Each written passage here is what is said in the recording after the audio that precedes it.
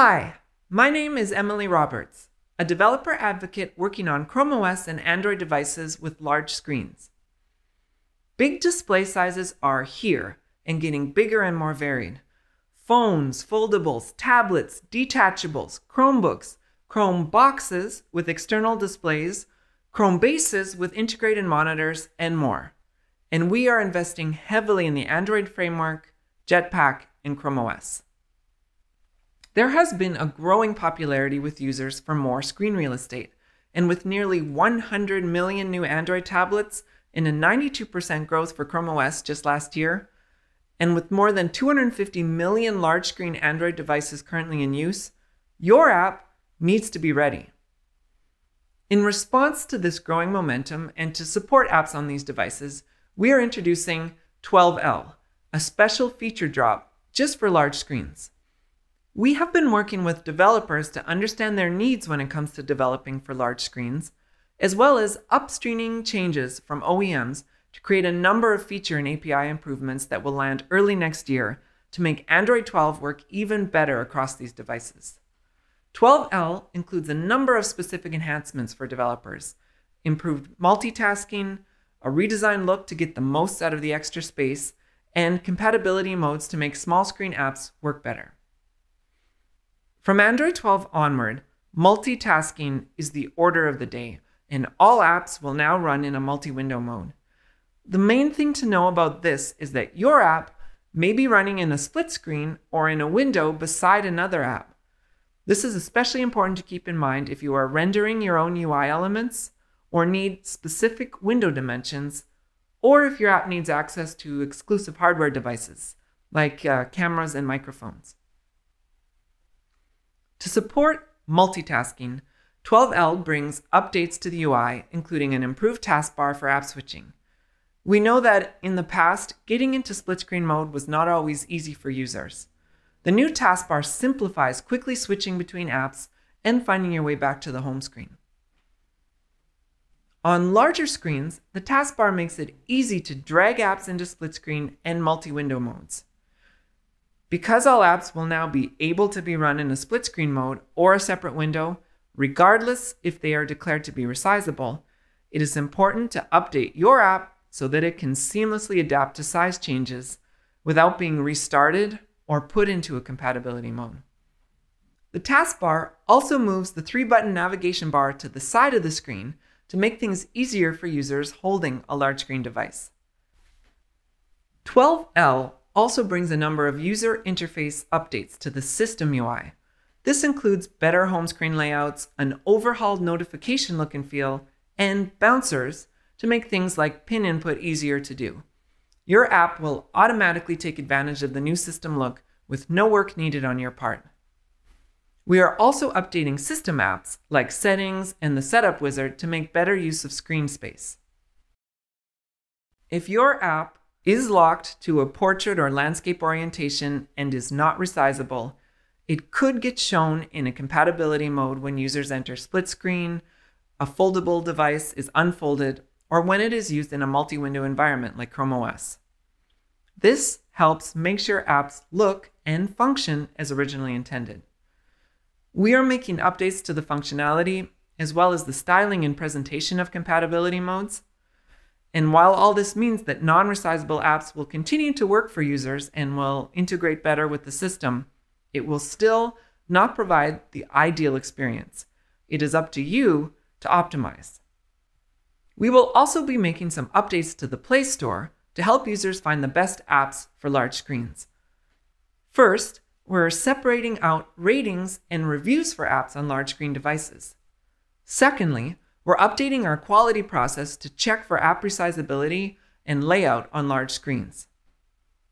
We are also going to be looking at input support and other features for large screens. This will allow us to surface apps to users that provide the best experience for their devices. You'll hear more about this next quarter as we prepare to launch these changes in 2022. The 12L feature drop comes with new APIs and a new SDK level. 32 to allow you to easily target the new features. Note the annual Play Store requirement to increase your target SDK will apply to Android 12 only, so SDK 31, and will not require you to move to 32. Start testing all these new features and APIs today. Get the 12L developer preview and prepare your app for the public release early next year. You can also use the Android Studio emulators with the 12L system image. Don't forget to try out split screen, fold, and rotation events to make sure your app looks great throughout common user journeys. There's nothing like testing on real devices, and soon you'll be able to test out these features on the Lenovo P12 Pro and the Samsung Galaxy Z Fold 3. We are pleased about all the 12L updates and look forward to continuing to add even more great features and large screen support in upcoming releases of Android. I'm now going to pass it over to Andre to talk about Jetpack updates. Jetpack Window Manager is a library that gives you backwards compatible APIs to work with window metrics and sizes, and it's now in beta. It also provides detailed information about display features like folds and hinges, and device configurations. We'll cover the stable APIs available in the library, and we'll take a look at some of the new experimental tools in the current and upcoming versions to help your app look great on large screens. The library takes advantage of the latest features in 12L, but also works with prior platform versions down to API level 14. Let's start with window metrics. In Android 11, a new set of window manager APIs was introduced to give you accurate measurements of the current window your app is running in. On large screen devices, it's very likely that your application won't be occupying the entire display, since the users engage in split screen and other forms of multi-window much more often. On the Samsung Galaxy Z Fold series, we've seen a 7x increase in split screen usage. Another example is when the window is letterboxed on a large display in a different orientation. It's important to make your app fully resizable, so we've got a whole talk dedicated to that. But how to know the size of your activity? The Window Metrics API returns the correct pixel size of the window in all possible states, and brings this capability all the way back to SDK level 14. It also informs you about the maximum possible metrics if the user expands the application display, so that you can select the right resources to load ahead of time. Remember, window metrics can change at runtime, so the recommended way is to update the values when the activity is first created and when the configuration changes using Window Metrics Calculator. Do not use the deprecated display APIs like getRealMetrics or getRealSize, or you may get unexpected size values. Another key component to making your app intuitive for users on all device form factors is to provide different layouts. We've heard your feedback that knowing which screen sizes to develop for is difficult in our diverse device ecosystem. Now, Jetpack makes this easier than ever with window size classes. They have been introduced to provide opinionated layout breakpoints for you to know how to adapt your UI. Window size classes will be useful both when selecting the right layouts for different device types and when responding to window size changes in multi-window. Historically, users mostly interacted with one app at a time in Portrait, but tablets are commonly used in landscape, and with foldable devices and different multi-window modes, it will be more common for apps to go through large and small window sizes in a single session, and it's best to support as many as possible. Look for these in Window Manager Jetpack 1.1 and learn more about building Android UIs for any screen size talk. There is a big potential for innovation, especially on foldable devices. With an increasing number of those in the market, you can get one step beyond just making it compatible with large screens and adapt to different device states when users fold or unfold while your app is running. Supporting different modes will bring new ways to interact with your app and new experiences to enjoy. For example, one common posture on foldable devices today is tabletop, best for watching videos or taking calls hands-free. The device is positioned so that part of the display is at a comfortable viewing angle, and part is lying flat on a stable foundation, making it suitable for interactive elements. Let's take a look at how the library can help you with it. To determine the posture, you can use Folding Feature, a class that enables you to monitor the state of a foldable device. An application can receive events when there is a change in the device's hinge, and use the feature type, orientation, and state to update the UI around it if necessary. There are two possible states, flat and half opened. For flat, you can consider the surface to be open entirely flat, though in some cases it may still be split by a hinge and not fully continuous. For half opened, the window always has at least two logical areas. The information about feature layout is provided via window info repository. To start and stop the event collection, we can use a lifecycle scope, tracking while activity is visible. You can then use the information available in the window layout info object to update your layout. Folding feature includes information like hinge orientation and state. We can use these values to check if the device is in the tabletop mode, half open with the hinge horizontal. To learn more about this, check the complete guide on building for foldable devices in our documentation. And there is a dedicated talk about optimizing media applications. Look for best practices for video apps on foldable devices. To make maintaining these new layouts easier in the long run, we also have new test APIs in Jetpack Window Manager. We introduced a dedicated window testing module in the library. Here is an example of creating test instances of the main classes. Notice that activity is the only parameter in folding feature function without a default value. The current default configuration for a test folding feature is set to be horizontal across the middle of the screen and it is half opened. Window layout info publisher rule is useful for testing UI and how it responds to folding features. You can chain it together with an activity scenario rule. The publisher rule does not fully replace an end-to-end -end test in a device DOM. For example, a real device will update window layout info for orientation, but when using the publisher rule, you will have to update the window size and window layout info yourself. After the test rule has been set up, you can use the override window layout info method to replace the current layout info object. Now that we've covered the stable features, let's explore the new experimental additions to the library. We recognize that converting existing legacy codebases to support large screens may be challenging. For some applications that have over time invested into using activities for individual screens, switching to multi-pane layouts via fragments or other tools may incur significant refactoring and a lot of team resources. In order to make this transition easier, we are introducing activity embedding, a set of window manager Jetpack features for modern large screen devices that allow flexible organization of activity windows. Its first UI implementation is focused on taking advantage of large screen space by showing activities side by side in multi-column layout. For example, you might have separate activities for these list and detail screens, but you'd like to show them together on large displays. While we recommend you to re-architect your app to use a single activity, we understand it's pretty costly. This feature enables you to optimize for large screen layout with the app structure you already have. And the most exciting part is that adopting the feature may require little to, in some cases, no existing code modification. Let's take a closer look. The feature is designed with compatibility in mind. The library automatically chooses the right presentation type based on the available screen space and the settings you provide. This allows avoiding branching in your in-app navigation code to handle small and large screen in different sections. The library also supports screen and window size changes at runtime, so if the user folds or unfolds the device or resizes in multi-window, the presentation is automatically updated for you. We're also staying true to the existing ordering of activities in your application. We identify two containers or activity stacks in each split, primary and secondary. The secondary container is always considered to be on top of the primary one. If the screen space is small, it will be the same stack of activities as usual. But if there is enough space, these two stacks can be shown side by side. Here's an example of what happens when you have multiple activities in the secondary container. They automatically show up within the same bounds when they were launched.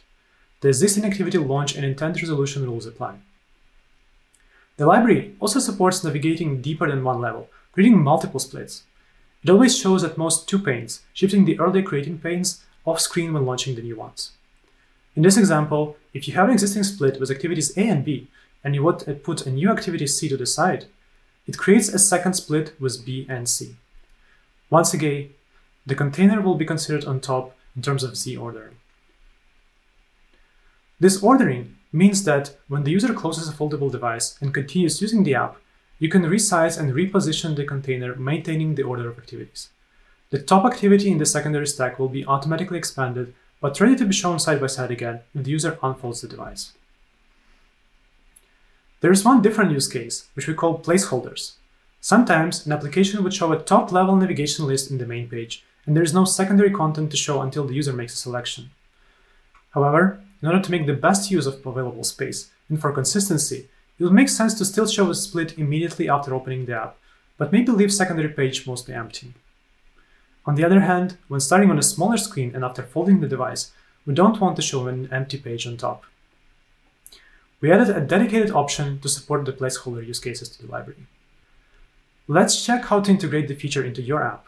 It just takes a couple of steps. First of all, declare the library dependency in your build file. Next, create an XML file in your assets and provide the rules defining which activity should be split and the properties of the splits. In this example, I want to put activities A and B in a split when B is launched on top of A. To do this, I add a single split pair rule with default configuration and a single filter that is used to match activity component names. When activity B is started from A, the filter will be checked and matched, and the new split will be automatically created by the library. We are giving you flexibility by providing different types of rules for different scenarios. You can find out more in our documentation. Alternatively, you can use the runtime APIs to add or remove the rules if necessary. Next, we need to inform the library about these rule definitions. In this example, we are using the Jetpack App Startup library to perform initialization before other components of the app load and activities start. In order to do this, we add the library dependency in the build file and the following entry in Android manifest. Here, we specify which initializer class should be used. Lastly, we add the initializer class implementation. You may be familiar with the structure if you're already using App Startup in your app. The rules are set by providing the XML resource ID with the definitions to splitcontroller.initialize. That's it! The library will track activity launches that occur from different points in your codebase, check the intents that are being used and which activities are firing them. And if a matching rule is found, a new split will be created and managed by the library. This feature will be available on large screen devices that support latest version of Window Manager Jetpack extensions. You can use it today using the 12L emulator, and you can find this feature soon on real devices like Samsung Galaxy Z Fold 3. On devices where it's not available, it will fall back to regular presentation when activities always appear stacked, fully overlapping each other. So you don't need to worry about devices that are not supported yet. And you can always check if the feature is available with a dedicated runtime API. We're also experimenting with other ways of interacting with multi-display devices. One exciting example is rear display mode that allows using the high-quality primary camera for selfies while showing the preview when the device is unfolded. We are working on a new set of APIs to support the use case. Look for it among the experimental Window Manager Jetpack APIs in the upcoming versions. Back to Emily to talk about Chrome OS. Thanks, Andriy. Android tablets and foldables are really getting big. Let's talk a bit about Chromebooks. For years now, Chrome OS has brought users the ability to easily install and run Android apps on large screen devices. Lately, we have added a number of improvements to the Android app experience, like better picture in picture support, a low latency stylus library, and better presentation of apps not designed for large screens. Picture in picture now looks and works even better on Chrome OS. Using the standard Android picture in picture APIs will get you the newest appearance and functionality without additional effort. Let's quickly review those APIs. Start by indicating picture in picture support in the manifest file, and then engage it with enter picture in picture mode. You could also do things like automatically enter picture in picture when the user backgrounds your activity by using on user leave hint. Remember, you will likely want to adjust your UI in this mode. And to do that, look for the callback on picture in picture mode change and make the necessary changes. In May, we announced the launch of the Chrome OS Low Latency Stylus API to get you the lowest possible latency for your painting and drawing apps. Check out the API and demo app on GitHub today. Android apps that are designed only for small screen portrait phones can look and perform badly on large screen tablets, Chromebooks, or external monitors if they are stretched out to a full screen view. Issues can range from just a, a suboptimal layout to crashing if the app does not correctly handle multi window or resizing events. Like on tablets and foldables, Chrome OS now has a compatibility mode that shows apps that are designed for small screen mobile devices in a phone size or tablet size window.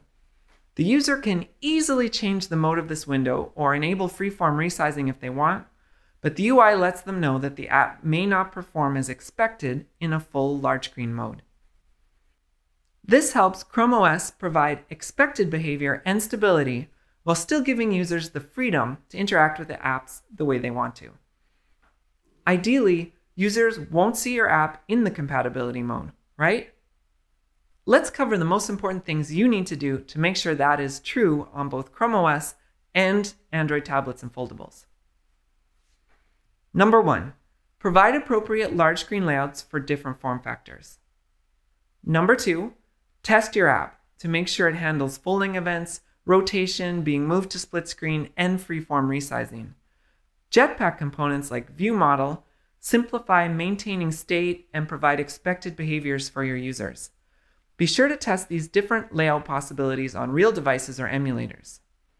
Number three, handle input well across touch, keyboard, mouse, and trackpad, as well as other more specialized inputs like stylus or game controllers, depending on your app's needs.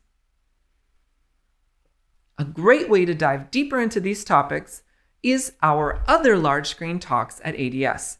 Learn how to make your layouts look great and adapt well while handling input correctly. If your app is looking great on large screens in Chrome OS already, or if you want to know more about where to start with optimization, let us know by visiting the link here. And remember, detailed documentation about optimizing for Chrome OS and large screens can be found on chromeos.dev. Foldables, tablets, and Chromebooks are becoming more popular than ever. A lot can be done to optimize your app right now, and we are excited about the new features we are releasing soon to make apps work even better. Explore the new 12L APIs by using the emulator and downloading the 12L Developer Preview today.